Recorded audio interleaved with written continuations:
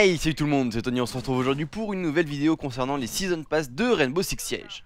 On arrive à la fin de la première année de Rainbow Six Siege, un deuxième Season Pass a fait son apparition et beaucoup de personnes se posent des questions dessus. Est-ce qu'il faut le racheter?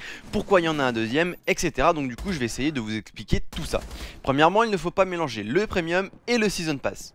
En effet, bien que les deux se ressemblent un peu puisqu'en général un Season Pass et un Premium apportent un nouveau contenu dans un jeu, ils sont différents sur leur fonctionnement. La principale différence, c'est leur durée. En effet, quand vous allez acheter un Season Pass, il va être valable pour seulement un an. Alors que si vous achetez un Premium, celui-ci a une durée de vie illimitée. C'est-à-dire que quand vous achetez le Premium, vous savez d'entrée ce que vous allez avoir en nouveau contenu pour la totalité de la durée de vie du jeu.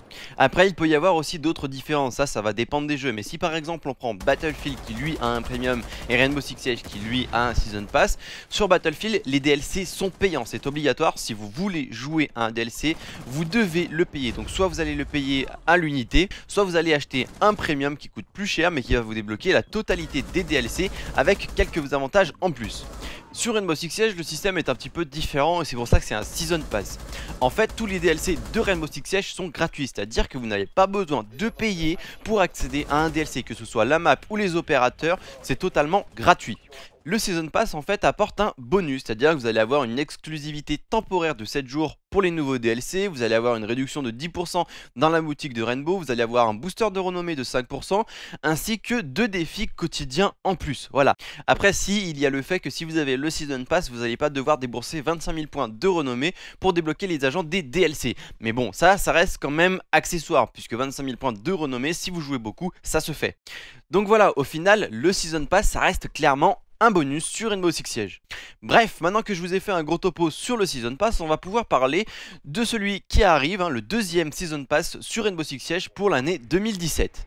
Et oui, beaucoup de personnes se demandent mais pourquoi il y a un deuxième Season Pass? Est-ce qu'on va devoir le racheter? À quoi ça sert? J'en ai déjà acheté un, etc. Donc du coup, voilà, je vais quand même vous expliquer pourquoi il y a un deuxième Season Pass, même si je vous ai déjà un peu expliqué tout ça juste avant. Comme je vous le disais, le Season Pass a une validité d'un an. Et vu que justement, on arrive à la fin de la première année de Rainbow Six Siege, eh bien Ubisoft nous a dévoilé le fait qu'il y allait avoir du nouveau contenu pour 2017, donc c'est-à-dire encore 4 DLC avec des nouveaux agents, des nouvelles maps, etc. Donc du coup, il y a un nouveau Season Pass. Alors celui-ci c'est clairement le même que le premier, hein. il n'y a aucune différence et c'est plutôt logique comme je vous expliquais. Un Season Pass c'est du bonus, donc vous aurez les mêmes que pour la première année, c'est-à-dire l'accès en avant-première de 7 jours aux nouveaux agents, la réduction de 10% dans la boutique, le booster de renommée de 5%, les deux défis quotidiens bonus, vous avez aussi un pendentif carbone Rainbow Six, des skins, des uniformes, ainsi que 600 crédits R6 pour acheter du contenu dans la boutique. Maintenant qu'on sait tout ça, c'est bien, on sait qu'il va y avoir du nouveau contenu, qu'il y a un nouveau Season Pass, etc. Mais du coup, si j'ai déjà acheté le premier, est-ce que je dois acheter le deuxième? Qu'est-ce que je dois faire, etc.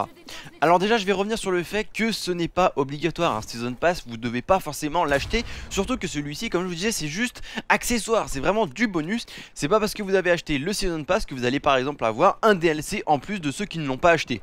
Enfin bref, pour revenir à ce que je disais, que vous ayez acheté le Season Pass de la première année ou non, pour celui de la deuxième année, vous allez devoir le réacheter. Et oui, même si vous avez déjà acheté le premier, vous devrez racheter le Season Pass 2 pour avoir les bonus sur la deuxième année. En effet, le premier Season Pass était actif que pour 2016, c'est-à-dire qu'il vous a débloqué des bonus pour le DLC Black Ice, Dustline, School Rain et Red Crow. Mais pour les DLC qui arriveront en 2017, si vous voulez avoir les bonus, il faudra réacheter le Season Pass 2. Par contre attention, si jamais vous achetez le jeu maintenant, les 4 DLC de l'année 2016 sont sortis, on sait ce qu'il y a dedans, on a les nouveaux agents, etc. Mais vous allez devoir les acheter avec 25 000 points de renommée.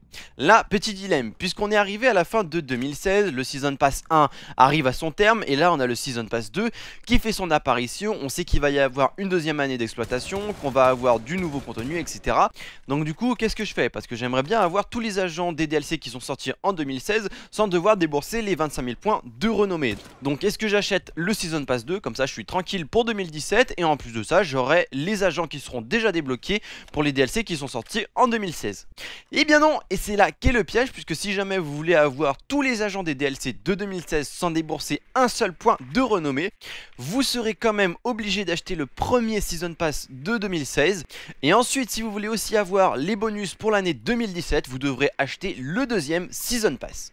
Donc voilà, c'est un point très important et pour répondre clairement à tous ceux qui me disent oui j'ai acheté le premier Season Pass il y a deux semaines, est-ce que je vais devoir racheter le deuxième Season Pass pour avoir les bonus en 2017 Eh bien oui, vous devrez le racheter. Après ce n'est pas obligatoire, c'est ce que je dis à chaque fois, ça reste accessoire, ça reste du bonus, vous êtes vraiment pas obligé d'acheter les Season Pass.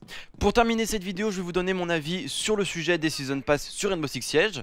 Donc pour ma part, ce que je trouve vraiment pas mal, c'est qu'Ubisoft sorte des DLC qui sont totalement gratos, c'est-à-dire que vous aurez absolument pas besoin de débourser ne serait-ce qu'un euro pour avoir du nouveau contenu, des nouveaux DLC sur Rainbow Six Siege.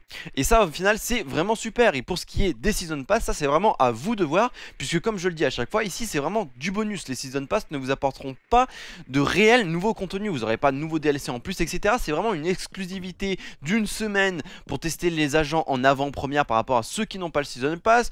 Vous avez des petits avantages par-ci par-là, mais voilà, c'est vraiment du bonus et le Season Pass n'est en aucun cas obligatoire pour avoir du nouveau contenu sur Rainbow Six Siege. Et voilà on arrive à la fin de cette vidéo. Je vais faire une petite parenthèse concernant l'achat du Season Pass de la deuxième année. Si vous voulez faire un petit peu d'économie Cliquez sur le lien qui se trouve dans la description. C'est le lien de mon partenaire.